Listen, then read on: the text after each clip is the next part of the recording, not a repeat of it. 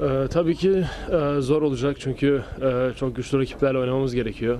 E, bazı şeyleri başarmak için e, zor yollardan geçmemiz gerekiyor. Bence Kanada'daki maçlarda öyle olacak bizim için.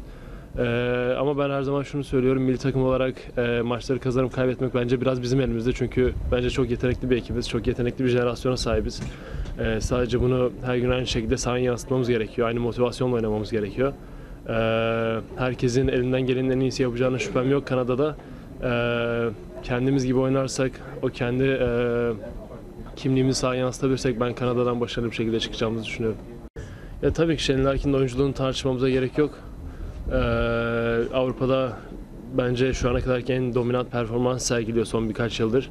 Ee, duyduğum kadarıyla da çok da iyi bir karakter çünkü e, bazen sadece çok iyi basketbolcu olmanız yetmiyor o kimya anlamında, o kimyayı yakalamanız anlamında. Ee, tabii ki bu federasyonun antrenörlerin vereceği, Ufuk abinin e, vereceği bir karar. Ee, onlar ne karar verirse biz buna saygı durmak zorundayız ama Şenol Larkin'in oyunculuğunu konuşmamıza gerek yok.